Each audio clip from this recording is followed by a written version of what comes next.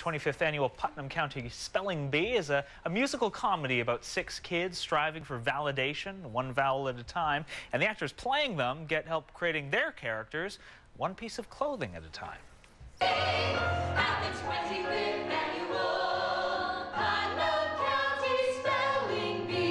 Before joining this cast of competing characters, Jeremy Crittenden faced a big decision.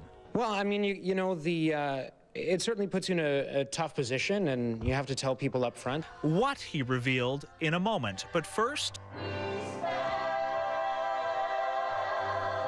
C O S T U M E, costume. Costumes, quirky and colorful, are what Erin Macklem designed to transform these 20 something actors into 12 year olds. We wanted to keep this play uh, sort of grounded in reality because the music is so fun and, and the characters are quite big.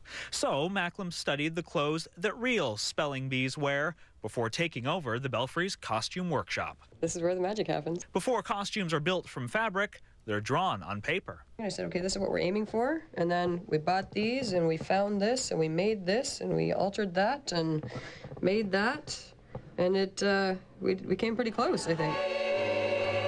When the actors face the audience for the first time, singing the songs that earned Putnam County raves on Broadway, costumes should be the last thing on your mind.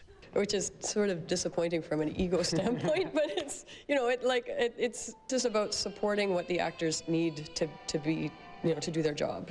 Well, it might change the way that. Uh or moving or walking, you know, you might spend a little bit of time trying out different things. And I've got these nice socks that I can pull up all the time. And, and so it might give you some new business or just some new ideas about the character.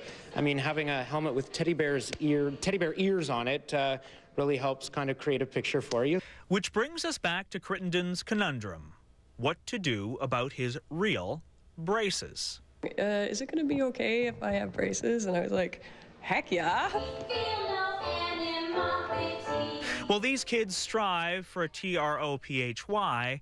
Macklem says clothing these characters was G R A T I F Y I N G.